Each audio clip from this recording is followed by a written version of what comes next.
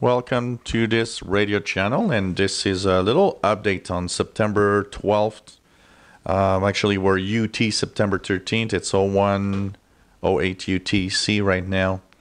And of course, um, the, the news on WRMI um, basically, um, Hurricane Irma hit WRMI quite badly. Um, first of all, they don't have electricity, so that's one of the biggest problems for them. And also, there were a couple of towers that collapsed in the antenna farm. So it's uh, going to create a situation where WRMI is going to take some time to come back to full operations. Now, tonight, as of September 13th UTC, that's the evening of September 12th, North America, they've managed to put back online 9395 kilohertz. So if you were listening to that frequency, it's back up and running, but there's still a lot to be done. So uh, let's uh, hope that WRMI can fix and uh, come back to life as fast as possible.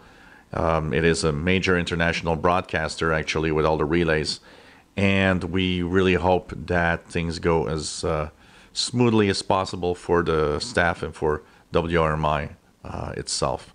So we'll keep you updated from time to time with this. Of course, check out our live shows that we have.